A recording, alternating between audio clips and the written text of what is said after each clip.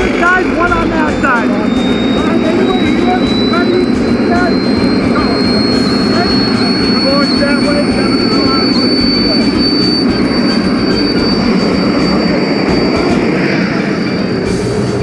Gears up 100%, trying to get that. Back up home. Supposed to be forward. Okay, have fun, guys.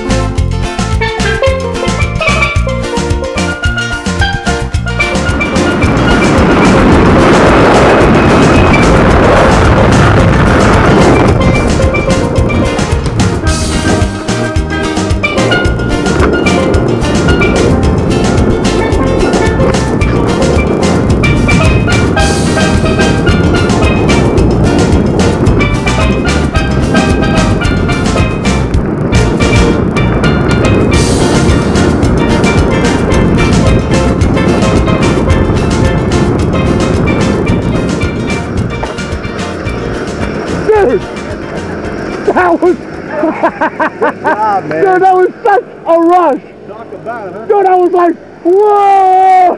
You seen my opening? Huh? No, 1,400 feet. I think it was below this. Yeah. Woo, dude! I'm on my back going, whoa! Yeah, you Dude, what? Dude, that was so